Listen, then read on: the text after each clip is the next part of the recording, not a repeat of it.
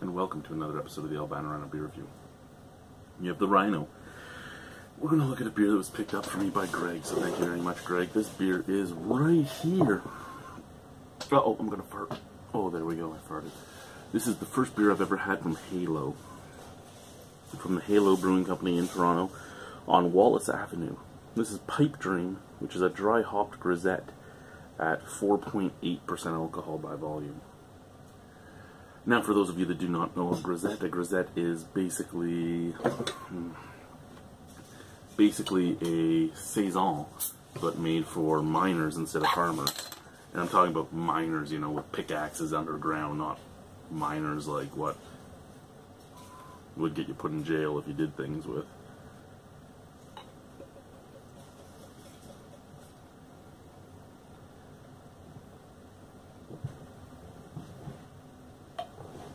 So I wouldn't think that dry hopping is something that was normally done with one of these. So it could be considered probably a new age uh, look to an old favorite. I actually usually enjoy grisettes because they don't usually have as much coriander or clove or uh, nutmeg and that sort of stuff on them as others do. And there you go. Beautiful haze, you can't see through it. Beautiful straw color, beautiful bright white head. I really like the uh, visuals of this beer. I don't see any carbonation moving though. Oh, tiny bits. Tiny bits if I get my eye right up to the glass. Let's move that hair off the glass. There we go. Get my eye right here. Little tiny bits of, of water, uh, water of uh, carbonation moving. A little tiny bit of a snap, crackle, pop.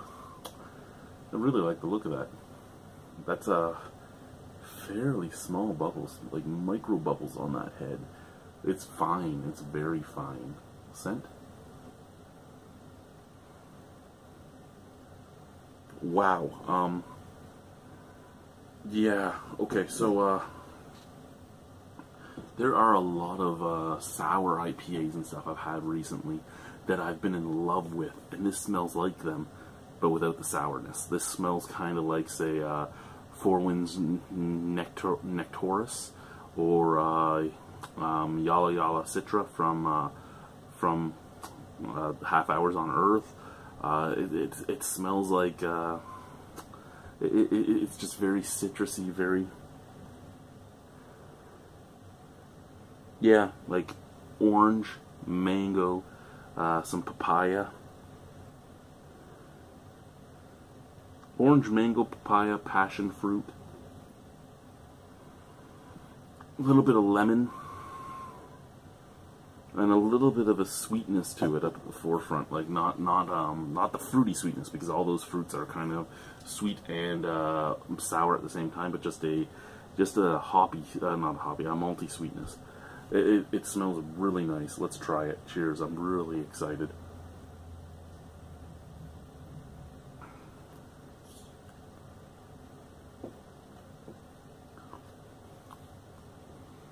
Okay. This is the first beer I've ever had from Halo. And I have one other beer from them. It's a pale ale, dry hopped pale ale.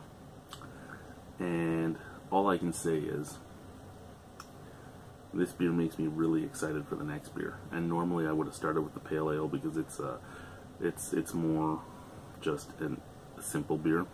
But uh I wanted to try this one because it was lower ABV.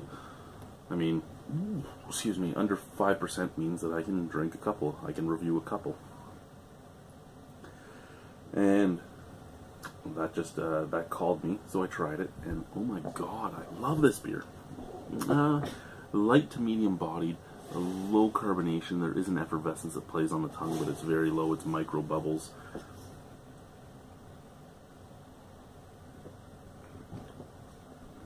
But juicy very juicy, much uh, juicy like a juicy like a Vermont style IPA with a uh, orange, mango, papaya, and some lemon.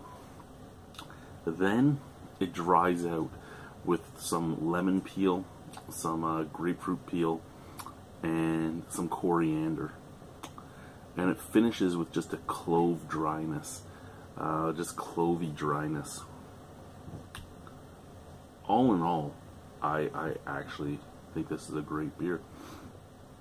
The dryness of the cloves helps make the bitterness of the hops just kind of dwindle into this drying, uh, drying moreish finish because it's leaving a, a, it's leaving its its touch on the back of your throat, but it, since it's not really bitter, you just want to take another sip to wash it down.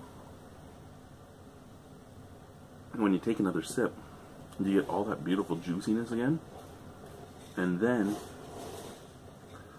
you get that whole back end starting again, that that bitter peel, that uh, dryness from the clove, and then it emanates down into an almost uh, almost biscuity finish. Fuck, I really like this beer. I really do. Um, I don't even know. Uh, I don't know enough to know that I don't know. Uh, I, I don't know why this brewery wasn't known to Greg. I mean, I'm like, hey, have you ever tried anything from Halo? Where's Halo compared to you? He's like, oh, it's not all that far, but I've never heard of them. And um, this is a great little beer. I really enjoy this grisette. Um,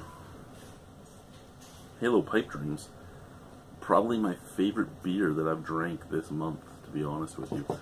Uh, and I, uh, for those of you that follow me on Untappd or anything like that, I drink a lot of beers.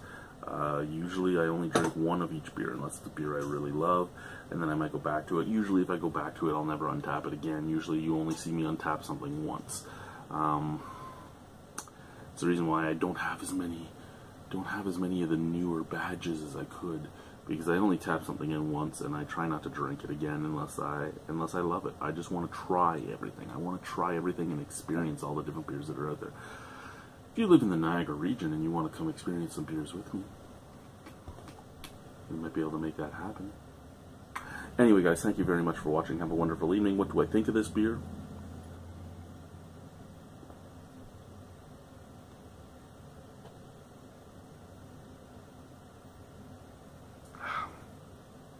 I think it's an easy 9 out of 10. I think I'd make a grisette dance. I'm about to burp one second. Ooh, oh, there we go. It's a good thing it's a low carbonation because it's not a big burp. Uh, I would make a grisette dance, but since nobody comes down here to do these with me anymore, dances kind of lose their fun. The dances were more fun when there was people here cheering you on and stuff. And, and chirping from the background and such. So, um, yeah, out of 10, 9 out of 10 for Halo's Pipe Dream Dry Hop Grisette. Thank you guys. Thank you, Greg. Bye.